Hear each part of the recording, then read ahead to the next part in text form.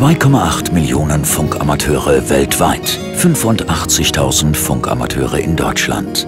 Knapp 50.000 von ihnen sind Mitglied im DARC, dem Deutschen Amateur Radio Club. Der Grundgedanke ist natürlich der Funk, alles über die Funkschnittstelle zu übertragen.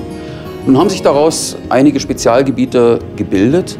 Zum Beispiel gibt es eine Gruppe von Amateuren, die bauen Satelliten und lassen diese Satelliten ins Weltall schicken. Technik entwickeln, selber bauen, mit anderen ausprobieren und an Wettkämpfen teilnehmen.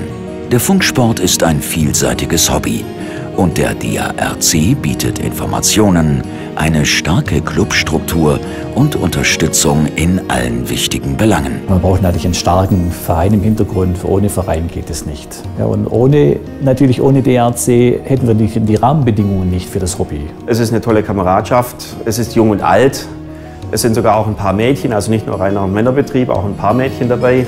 Der Amateurfunk ist ein spannendes Hobby. Ob Jugendliche oder Erwachsene, Wer Spaß an Technik und Interesse an Naturwissenschaften hat, findet sich in einer großen Gemeinschaft wieder und ist bei den Funkamateuren des DARC bestens aufgehoben.